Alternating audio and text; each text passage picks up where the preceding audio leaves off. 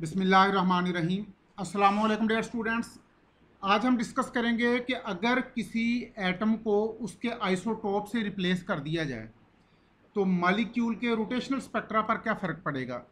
The effect of isotopic substitution the replacement of an atom by its isotope causes little change in internuclear distance, but total mass, reduced mass moment of inertia and rotational constant undergo appreciable change यानी अगर किसी molecule में, यहाँ पर अब बात हो रही है डाई एटामिक मालिक्यूल की। अगर डाई एटामिक मालिक्यूल में किसी एक एटम को उसके आइसोटोप से रिप्लेस कर दिया जाए तो इंटरन्यूक्लियर डिस्टेंस पर तो इतना फ़र्क नहीं पड़ेगा।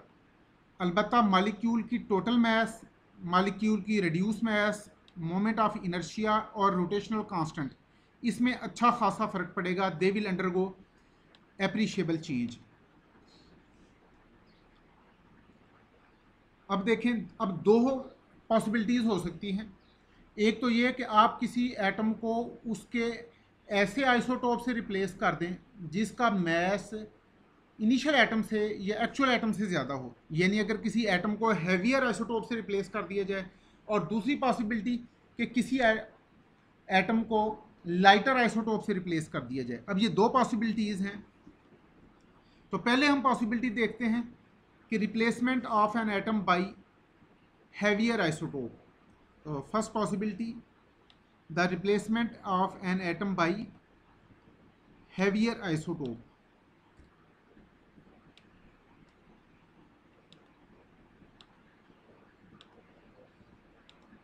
the replacement of an atom by heavier isotope causes increase in reduce mass increase in moment of inertia but decrease in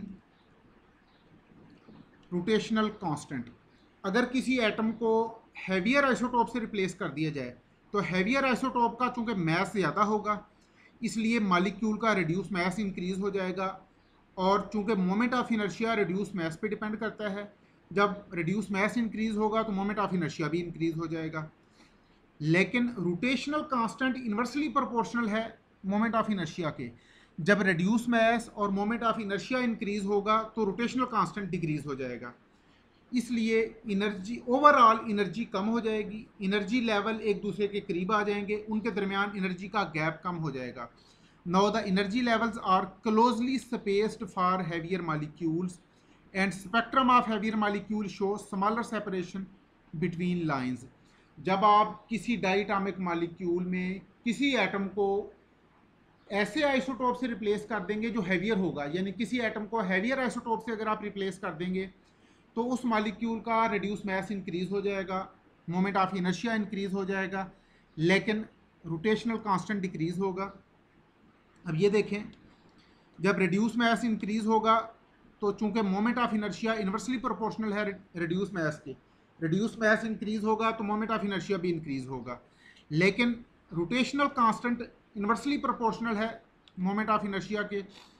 जब रिड्यूस मैस इंक्रीज होगा, मोमेंट ऑफ़ इनर्शिया इंक्रीज होगा तो रोटेशनल कांस्टेंट डिक्रीज हो जाएगा। अब आगे देखें।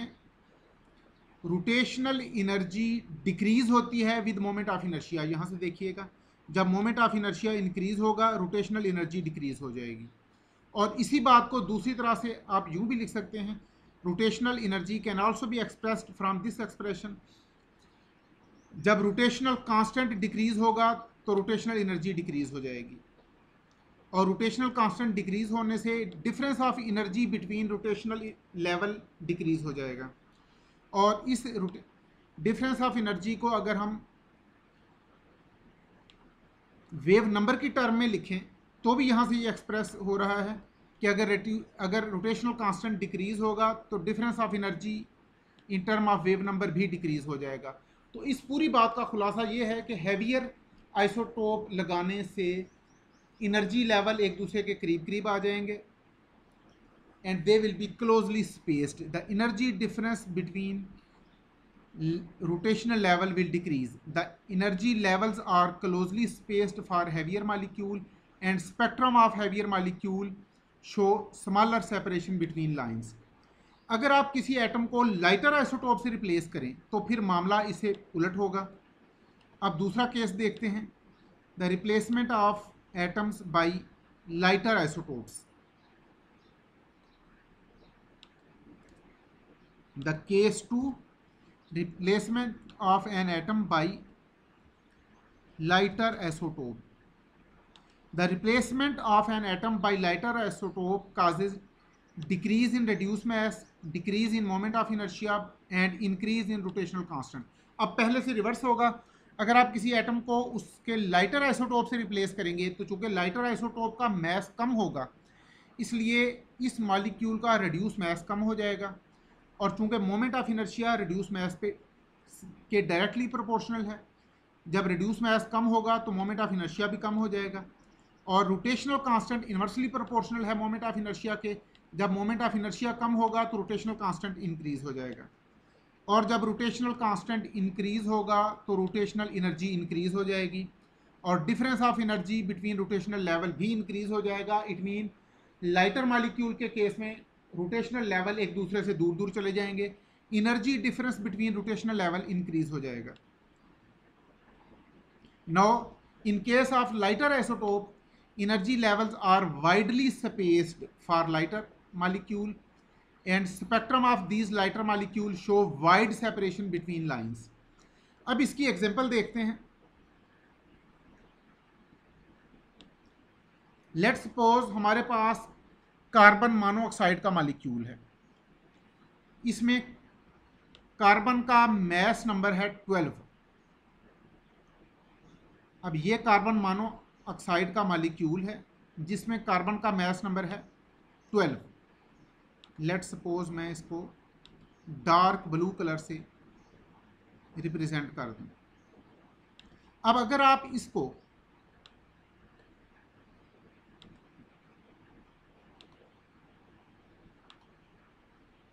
I have now represented it with bright blue colour अगर आप इसको रिप्लेस कार्बन 12 को रिप्लेस कर दें बाई कार्बन 13 अब कार्बन 13 को मैं रिप्रेजेंट कर रहा हूँ रेड कलर में। अब ये ना समझिएगा कि कार्बन 12 का कलर ब्लू होता है और कार्बन 13 का कलर रेड होता है। ये जस्ट इसको डिफ्रेंशिएट करने के लिए मैंने इसको डिफरेंट कलर दे दिए हैं। Now if carbon 12 is replaced by carbon 13 then we will get initially हमारे पास था सी ट्वेल्व ओ सिक्सटीन अब हमारे पास आ गया सी थर्टीन ओ सिक्सटीन अब अगर आप चाहें तो इस मेथड को यूज़ करते हुए कार्बन थर्टीन का एग्जैक्ट इटामिक मैस फाइंड कर सकते हैं। क्योंकि ये जो हमने सी थर्टीन का मैस नंबर थर्टीन है, लेकिन ज़रूरी नहीं कि इसका इटामिक नंबर एग्जैक्ट थर्टीन हो। इसके इटामिक यानी ज़रूरी नहीं कि इसका इटामिक मैस एग्जैक्ट थर्टीन हो। इसके एटॉमिक मैस की वैल्यू फाइंड करने के लिए हम ये प्रोसेस यूज़ करेंगे। अब चूँकि आपने कार्बन 12 को रिप्लेस किया है कार्बन 13 से इट मीन कि पहले हमारे पास सी ट्वेल्व ओ सिक्सटीन का मालिक्यूल था, अब हमारे पास सी थर्टीन ओ सिक्सटीन का मालिक्यूल है। अब चूँकि आपने कार्बन के एटम को रिप्लेस कर दिया with heavier isotope it mean इस मालिक्यूल का मैस भी इंक्रीज हो गया रिड्यूस मैस भी इंक्रीज़ हो गया और मोमेंट ऑफ़ इनर्शिया भी इंक्रीज़ हो गया, लेकिन रोटेशनल कांस्टेंट डिक्रीज होगा। ये देखिएगा। राइट साइड पर हमारे पास इनर्जी लेवल हैं कार्बन थर्टीन ऐसे कार्बन मोनोऑक्साइड के मालिक्यूल में जिसमें कार्बन के एटम को सी थर्टीन से रिप्लेस कर दिया गया है। ये देखें energy level for carbon monoxide left side पे कार्बन मोनोऑक्साइड में कार्बन 12 है और राइट right साइड पे कार्बन मोनोऑक्साइड में कार्बन 13 है। लेफ़्ट साइड पे जब कार्बन 12 है तो एनर्जी लेवल दूर दूर है। एनर्जी सेपरेशन ज़्यादा है। लेकिन जब आपने कार्बन 12 को रिप्लेस कर दिया विद कार्बन 13 अब चूँकि हैवियर आइसोटोप आपने लगा दिया, अब एनर्जी लेवल एक दूसरे के करीब करीब आ गए। एनर्जी डिफरेंस कम हो गया। और यही बात हम ऑलरेडी डिस्कस कर चुके हैं। अब देखें।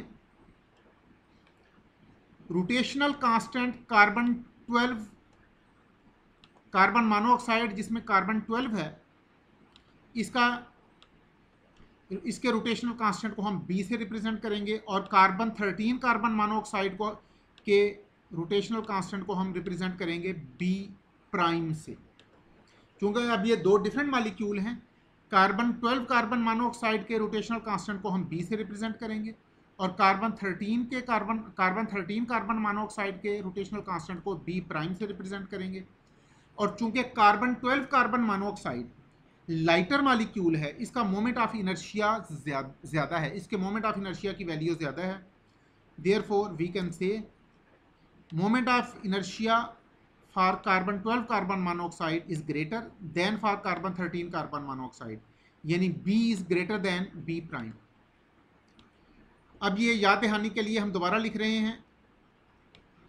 Rotational energy is given by this one and difference of rotational energy is given by this one अगर मोमेंट ऑफ़ एनर्जी अगर रोटेशनल कांस्टेंट की वैल्यू ज़्यादा है तो रोटेशनल एनर्जी ज़्यादा होगी और रोटेशनल एनर्जी का डिफरेंस भी ज़्यादा होगा। चूँकि कार्बन 12 में डिफरेंस कार्बन 12 में लाइटर मालिक्यूल है और लाइटर मालिक्यूल का मोमेंट ऑफ़ इनर्शिया ज़्यादा है, इसलिए लाइटर मालिक्यूल की रोटेशनल एनर्जी भी ज़्यादा है और रोटेशनल एनर्जी का डिफरेंस भी ज़्यादा है। ये देखें rotational energy for carbon 12 carbon monoxide is greater than for than for carbon 13 carbon monoxide and difference of energy difference of energy and difference of energy in term of wave number both of these energies they are greater for carbon 12 carbon monoxide than for carbon 13 carbon monoxide. ये देखिए दोबारा इस diagram में। Carbon 12 carbon monoxide में rotational energy ज़्यादा है और rotational energy का गैप भी ज़्यादा है। कार्बन 13 कार्बन मोनोऑक्साइड में हर लेवल की rotational energy carbon 12 carbon monoxide से कम है। ये देखें जे सिक्स के लिए कार्बन 12 कार्बन मोनोऑक्साइड की एनर्जी ज़्यादा है कार्बन 13 कार्बन मोनोऑक्साइड की एनर्जी कम है। जे फाइव के लिए जे फोर के लिए जे थ्री के लिए भी यही मामला है। हर स्टेप पर कार्बन 12 कार्बन मोनोऑक्साइड की एनर्जी ज़्यादा है और कार्बन 13 कार्बन मोनोऑक्साइड की एनर्जी कम है। इसलिए कार्बन 12 कार्बन मोनोऑक्साइड में, यानी ऐसी कार्बन मोनोऑक्साइड जिसमें कार्बन का लाइटर आइसोटोप यूज़ किया गया है, इनका एनर्जी सेपरेशन ज़्यादा है और कार्बन 13 कार्बन मोनोऑक्साइड में एनर्जी सेपरेशन कम है। Now the energy levels are closely spaced for heavier molecule and spectrum of heavier molecule show smaller separation between line और अगर इसी बात को रिवर्स कर लें कि energy levels are widely spaced for lighter molecule and spectrum of lighter molecules show larger separation between lines. Now, this phenomena helps us to find exact values of atomic masses. अब हमने rotational constant की values calculate नहीं की, बल्कि ये values हमने already data से ले ली है। कार्बन 12 कार्बन मोनोऑक्साइड के लिए रोटेशनल कांस्टेंट की ये वैल्यू है। और कार्बन 13 कार्बन मोनोऑक्साइड के लिए रोटेशनल कांस्टेंट की ये वैल्यू है। और जैसा कि हम ऑलरेडी डिस्कस कर चुके हैं लाइटर मालिक्यूल का रोटेशनल कांस्टेंट ज़्यादा होता है देन हैवियर मालिक्यूल और यहाँ पर देखें लाइटर मालिक्यूल का मोमेंट रोटेशनल कांस्टेंट की वैल्यू 1.9211 और हैवियर मालिक्यूल का रोटेशनल कांस्टेंट 1.83669 लाइटर मालिक्यूल के मोमेंट रोटेशनल कांस्टेंट को हम बी से रिप्रेजेंट करेंगे और इसके मोमेंट ऑफ़ इनर्शिया को कैपिटल आई से रिप्रेजेंट करेंगे। हैवियर मालिक्यूल के मोमेंट ऑफ़ इनर्शिया को बी प्राइम से रिप्रेजेंट करेंगे और इसके मोमेंट, और इसके मोमेंट लाइट, हैवियर मालिक्यूल के रोटेशनल कांस्टेंट को बी प्राइम से रिप्रेजेंट करेंगे और हैवियर मालिक्यूल के मोमेंट ऑफ़ इनर्शिया को आई प्राइम से रिप्रेजेंट करेंगे।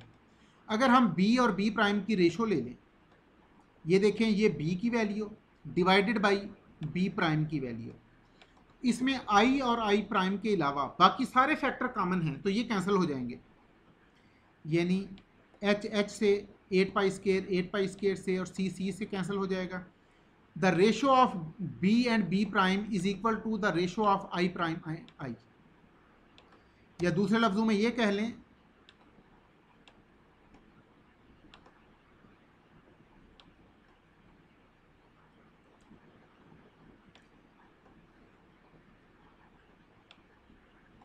दूसरे लफ्जों में यूँ कह लें कि b over b prime is equal to i prime over i. B over b prime is equal to i prime over i. अब i प्राइम और i की वैल्यूज़ हमने फाइंड करनी है। I is the moment of inertia of heavier molecule i is moment of inertia of lighter molecule it is mu R square and i prime is moment of inertia of lighter molecule it is mu prime R square. चूँकि हमने कहा था R square is internuclear distance, और हमने कहा था अगर किसी एटम को उसके हैवियर आइसोटोप से रिप्लेस कर दिया जाए तो इंटर न्यूक्लियर डिस्टेंस पे कोई खास फ़र्क नहीं पड़ता, इसलिए इसकी वैल्यू तो हमने सेम ही रखी है। अलबत्त रिड्यूस मैस चेंज हो जाएगा। ये है लाइटर मालिक्यूल का रिड्यूस मैस और ये है हैवियर मालिक्यूल का रिड्यूस मैस म्यू प्राइम अब आपने इस इक्वेशन में, इस इक्वेशन में आई और आई प्राइम की ये वाली वैल्यू पुट कर देनी है। आई की ये वैल्यू और आई प्राइम की ये वैल्यू। ये देखें, ये वैल्यूज़ हमने पुट कर दी। अब आर स्केयर न्यूमिनेटर में भी है, डिनोमिनेटर में भी है तो ये कैंसिल हो जाएगा। The ratio of B and B prime is equal to the ratio of mu prime and mu, और we can say B over B prime is equal to mu prime over mu. यानी rotational constant of lighter molecule divided by rotational constant of heavier molecule is equal to reduce mass of heavier molecule divided by reduce mass of lighter molecule अब देखें, चूँकि हमारे पास moment rotational constant की values तो मौजूद हैं तो ये वैल्यूज़ अगर हम पुट कर दें, ये देखें rotational constant of lighter molecule and rotational constant of heavier molecule ये वैल्यूज़ अगर हम इस इक्वेशन में पुट कर दें बी और बी प्राइम की ये वाली वैल्यूज़ अगर हम यहाँ पर पुट कर दें तो ये रेशो आती है one point zero four six the ratio of this one is this one इसका मतलब है the ratio of reduced mass of light heavier molecule divided by reduced mass of lighter molecule. This ratio is equal to 1.046 अब देखिएगा we know exact value of atomic mass of carbon 12 carbon 12 के atomic mass की हमारे पास exact value है। इसलिए हमारे पास कार्बन 12 कार्बन मोनोऑक्साइड के मोलर मैस की भी एग्जैक्ट वैल्यू है। कार्बन 12 का इटामिक मास इट इज़ 12 अब हमने इसको, और हमारे पास O16 का इटामिक मास भी है। O16 का एग्जैक्ट इटामिक मास 15.9994 अब हमने इस डाटा को यूज़ करते हुए कार्बन 13 का एग्जैक्ट इटामिक मास फाइंड करना है। और ये देखिएगा। Reduce mass of carbon 12 carbon 16 carbon 12 carbon monoxide reduce mass of carbon 12 carbon monoxide ये देखें अगर आपने रेड्यूस मैस फाइंड करना हो atomic mass of carbon 12 multiplied by atomic mass of oxygen divided by sum of atomic masses of carbon 12 and oxygen 16 reduce mass का ये expression हमने already पढ़ा हुआ है। दोनों एटम के इटामिक मैस को, का हमने प्रोडक्ट लिया और उसको डिवाइड कर दिया इन दोनों के इटामिक मैस के सम से। तो reduce mass of carbon 12 carbon monoxide is this one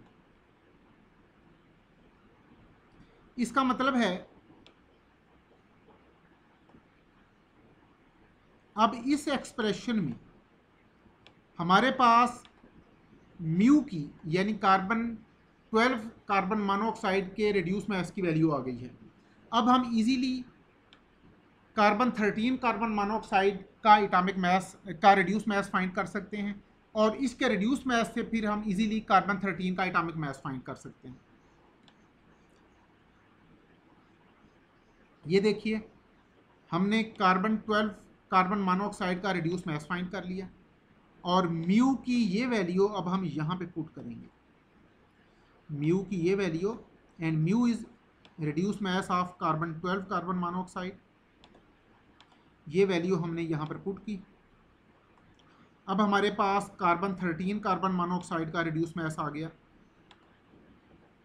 और कार्बन थर्टीन कार्बन मोनोऑक्साइड चूँकि हैवियर मालिक्यूल है तो यकीनन इसका reduce mass carbon twelve carbon monoxide से ज़्यादा होना चाहिए। तो कार्बन ट्वेल्व कार्बन मोनोऑक्साइड के रिड्यूस मैथ की value six point eight five seven और कार्बन थर्टीन कार्बन मोनोऑक्साइड के रिड्यूस मैथ की value seven point one seven two four two two अब हमारे पास कार्बन थर्टीन कार्बन मोनोऑक्साइड का reduce mass आ गया है। अब हम इसके रिड्यूस मैथ से कार्बन थर्टीन का इटामिक मैथ की एग्जैक्ट वैल्यू फाइंड कर सकते हैं। ये देखें अकॉर्डिंग टू एक्सप्रेशन ये है हमारे पास एक्सप्रेशन इसको मैं थोड़ा सा मैग्नीफाई कर लेता हूँ ताकि आपको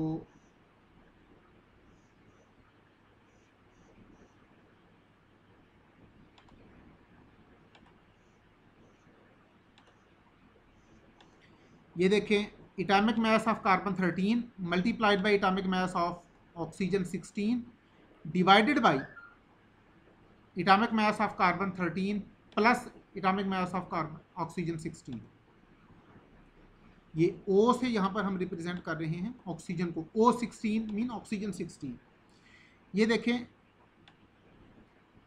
इटामिक कार्बन 13 का इटामिक मैस तो हमने फाइंड करना है। न्यूमिनेटर और डिनोमिनेटर दोनों में इसको हम एम सी थर्टीन ही लिखेंगे। अलबत्ता ऑक्सीजन 16 का एटॉमिक मास हमारे पास मौजूद है। 15.9994 तो ये वैल्यू हमने पुट कर दी। ये देखिएगा।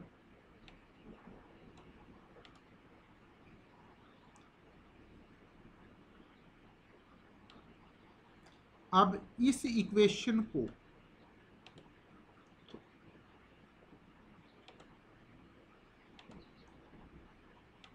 इसमें अगर हम डिनोमिनेटर को राइट हैंड साइड पे ले जाके 7.17 से मल्टीप्लाई कर दें, ये देखिएगा। ये डिनोमिनेटर को हम राइट साइड पे ले गए।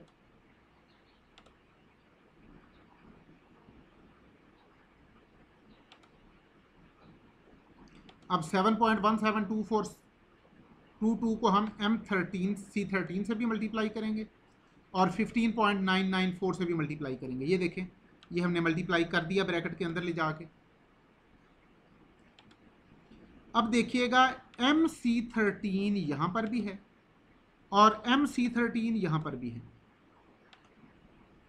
तो इसको अगर हम लेफ़्ट हैंड साइड पे ले आए और फिर हम एम सी थर्टीन को कॉमन ले लें, ये देखिए। एम सी थर्टीन को हमने यहाँ पर कॉमन ले लिया। तो ये 15.9994 और 7.172422 का डिफरेंस हमारे पास ये आ गया। और राइट हैंड साइड पे हमारे पास ऑलरेडी ये है। अब आप M13 का एटॉमिक मास एग्जैक्टली फाइंड कर सकते हैं। और ये हमने फाइंड कर लिया 13.00042 इस पूरे प्रोसेस को वंस अगेन रिपीट कर लेते हैं।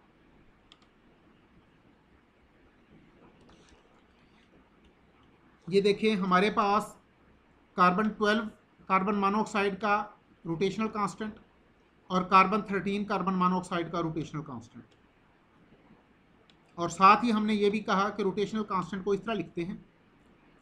अगर आप रोटेशनल कांस्टेंट को हैवियर मालिक्यूल के रोटेशनल कांस्टेंट को चूँकि हमने बी प्राइम लिखा है, इसके मोमेंट ऑफ़ इनर्शिया को हमने आई प्राइम लिख दिया।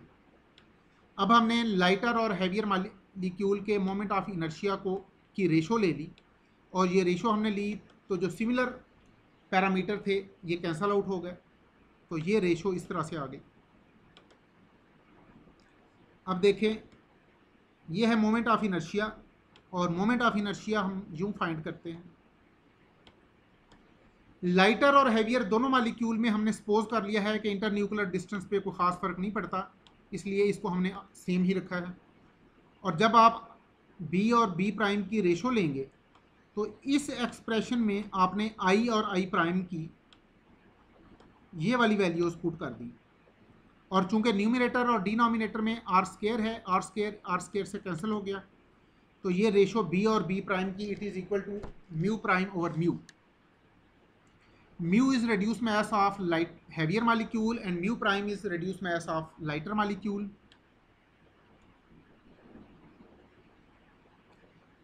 Sorry, mu is reduced mass of lighter molecule and mu prime is reduced mass of heavier molecule. तो अब इस एक्सप्रेशन में, इस एक्सप्रेशन में हम रोटेशनल कांस्टेंट बी और बी प्राइम की ये वाली वैल्यूज़ अगर पुट कर दें, ये देखें ये वैल्यूज़ हमने पुट कर दी तो म्यू प्राइम और म्यू की रेशो ये one point zero four six आ गए। इसका मतलब है अगर हमें म्यू प्राइम और म्यू में से एक की वैल्यू मालूम हो तो दूसरे की वैल्यू हम मालूम कर सकते हैं। और लकीली हमें म्यू की वैल्यू पता है।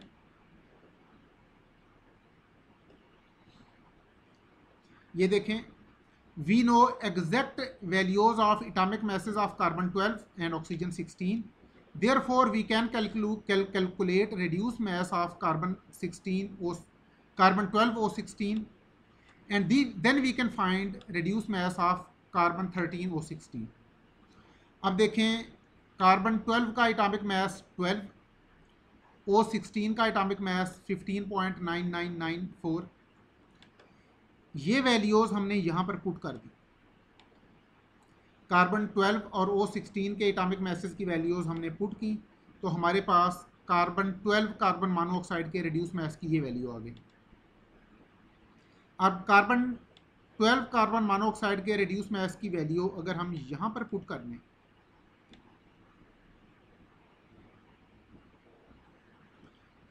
तो ये देखें, ये हमने कार्बन 12 कार्बन मोनोऑक्साइड के रिड्यूस मैस की वैल्यू पुट की। अब हमारे पास कार्बन 13 कार्बन मोनोऑक्साइड के रिड्यूस मैस की वैल्यू आ गई। और जब हमारे पास इसके रिड्यूस मैस की वैल्यू आ जाएगी तो हम कार्बन 13 का एटॉमिक मैस भी फाइंड कर सकेंगे। From reduce mass of carbon 13 carbon monoxide we can calculate atomic mass of carbon 13 ये देखें reduce mass of carbon 13 carbon monoxide इसके लिए ये एक्सप्रेशन है।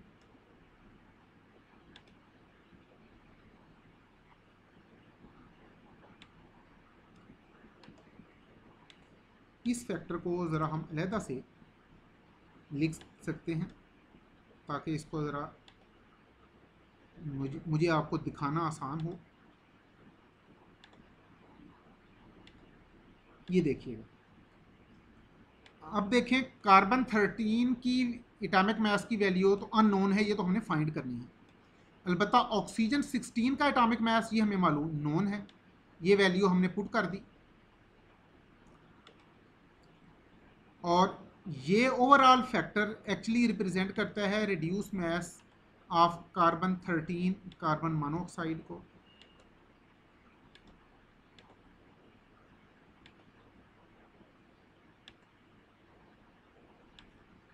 और कार्बन 13 कार्बन मोनोऑक्साइड के रिड्यूस मैस की ये वैल्यू है। अब ये देखिएगा, ये हमने वैल्यूज़ पुट कर दी।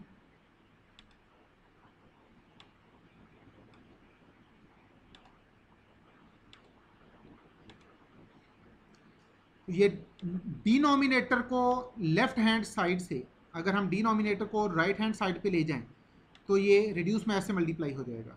ये देखें, ये रिड्यूस मैथ से मल्टीप्लाई हो गया। अब रिड्यूस मैथ को एम थर्टीन से भी मल्टीप्लाई करना है और fifteen point nine nine nine four से भी मल्टीप्लाई करना है। ये देखें, हमने मल्टीप्लाई कर दिया एम थर्ट सी थर्टीन से भी और इटामिक मैथ ऑफ़ ऑक्सीजन से भी। इस एक्सप्रेशन में इस एक्सप्रेशन की मैं बात कर रहा हूँ। इसमें राइट हैंड साइड पर भी एम सी थर्टीन है और लेफ़्ट हैंड साइड पर भी एम सी थर्टीन है। तो इनको अगर कंबाइन करके यहाँ लिख लिया जाए और फिर एम सी थर्टीन को कॉमन ले लिया जाए। तो इन दोनों के डिफरेंस से हमने ये वैल्यू ली और इस वैल्यू को अगर हम यहाँ डिवाइड कर दें एम सी थर्टीन की हमारे पास अल्टीमेटली ये वैल्यू आ गई। इसको ज़रा हम जल्दी हरूफ में लिख लेते हैं। ये वैल्यू ए एम यू में है। इसको अगर हम ग्राम में कन्वर्ट करना चाहें तो आप इसे 1.66 point six six into ten पार माइनस ट्वेंटी फोर से मल्टीप्लाई कर दें। अब चूँकि कार्बन 13 की नेचुरल अबंडेंस वन परसेंट है, यानी कार्बन मोनोऑक्साइड के सैंपल में हमारे पास कार्बन 13 है वन परसेंट तो यहाँ से हम इन दोनों के रोटेशनल स्पेक्ट्रा की इंटेंसिटी के कंपैरिजन से हम नेचुरल अबंडेंस भी फाइंड कर सकते हैं। अब बच्चों जाते जाते ये एक न्यूमेरिकल है आपके ज़िम्मे, इसको आपने खुद सॉल्व करना है। We have to calculate reduce mass moment of inertia rotational constant rotational energy rotational energy in terms of wave number and difference of energy between rotational level for carbon monoxide and HCl इन दोनों molecule के लिए आपने ये parameter calculate करने हैं। अपना ख्याल रखिएगा। थैंक यू वेरी मच अल्लाह हाफिज़।